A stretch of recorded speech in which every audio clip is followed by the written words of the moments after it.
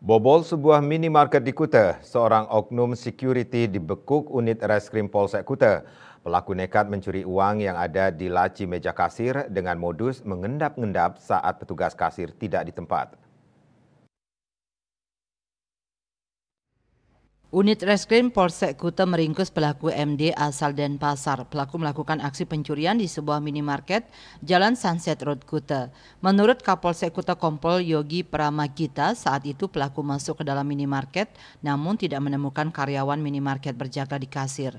Kesempatan itu digunakan oleh pelaku dengan mengendap-endap ke meja kasir dan mengambil uang tunai sejumlah 10,3 juta rupiah yang berada dalam laci. Selanjutnya pelaku memasukkan uang tersebut ke saku celana dan pergi dari minimarket. Mengendap masuk ke dalam itu sambil jongkok lalu ke meja kasir di mana pada saat di meja kasir tidak ada orang dan di situ tersangka mengambil uang sebanyak 10 juta 300 ribu di meja kasir tersebut dan setelah mengambil uangnya tersebut tersangka langsung kabur dan waktu itu langsung menyetorkan uangnya ke store tunai.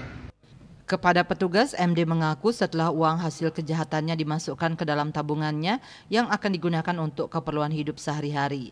Akibat perbuatannya, MD dijerat pasal 362 KUHP dengan ancaman 5 tahun penjara. Polisi menyita sebuah sepeda motor uang tunai sejumlah 9,3 juta rupiah dan satu set pakaian security sebagai barang bukti. Raiswantara Bali TV.